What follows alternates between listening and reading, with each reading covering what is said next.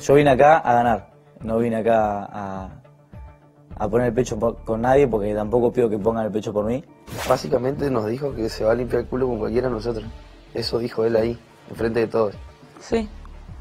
Yo no me voy a ir octavo, noveno, décimo, cual sea la posición, eh, por ponerle pecho a alguien, porque cuando me vaya me voy a sentir un boludo de haberme hecho el héroe y que me salga mal. Después va a la radio y separa los tres grupos y yo no... A ver, yo creo que entendió bien lo que le dijimos. Porti, Ivana y yo, Tuku, Mauri y Ainelén. Y en el restante me quedaría Jazz, Barbie y Pato. Que también nos ponen un compromiso a nosotros dos. Y vos sabés por qué. ¿Por qué? Porque el Tuco y Pato, por el primero de nosotros que van a ir, es por él. Claro. Y nosotros, a mí no me da la cara. Creo que ya estamos en un punto en el que él no sé qué haría. Antes sí, porque éramos muchos, él todavía no estuvo nominado y decía, bueno, si me tengo que ir yo, Bueno, sí.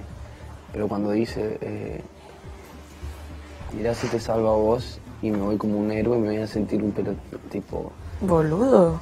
No, o sea, sí, no, es que no. Yo no sé si en serio se tiene tan poca fe o es el papel que él quiere. Para mí afuera debe estar re bien, enano. Para mí también, boludo, tiene, Cagá de risa con él. te juro, ayer Para mí, está enojado, boludo. sí, los miércoles le dan un ataque. Está enojado. Me hacía así, me hacían hablar al cepillo, pero enojado antes allá. Cuando nosotros tendríamos que estar enojados.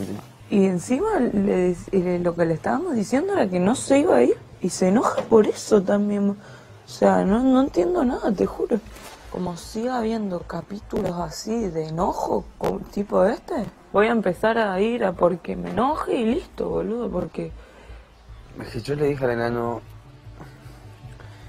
no, ni se me había cruzado ir eh, por el primero de nuestro grupo, pero Mm. no puede sentarse a decir eso. O sea, por lo menos mentime, no sé. Claro.